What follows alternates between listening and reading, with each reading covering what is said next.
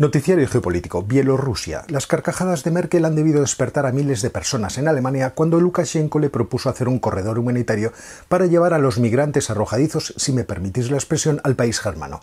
Ante la negativa, Lukashenko está haciendo planes para devolverles a Oriente Medio.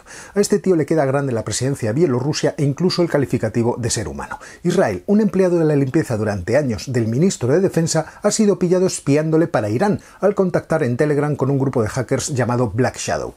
Benny Gantz, el ministro, fue antes jefe del Estado Mayor General del Ejército, y habrá que ver cuánto tiempo le han estado espiando. Y oye, que cómo mola el Mossad y qué máquinas son, pero se ve que los contrarios tampoco están chupándose el dedo todo el día. Filipinas, nuevo roce entre los guardacostas chinos y barcos filipinos en las islas Spratly. Las islas están a 2.000 kilómetros de China y a 35 de Filipinas.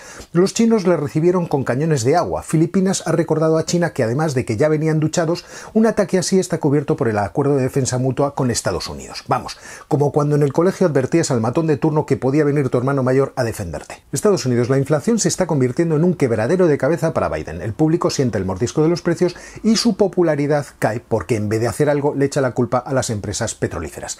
Pero no hay problema, según su administración, porque si se aprueba el plan Build Back Better, aumentar el gasto público en 2 billones de dólares hará que los precios caigan. ¡Ja! Me da la risa floja. Yo esto tendría que verlo. Me parece que lo que quieren en realidad es reducir la deuda pública a base de inflación. Recordad esto que os digo.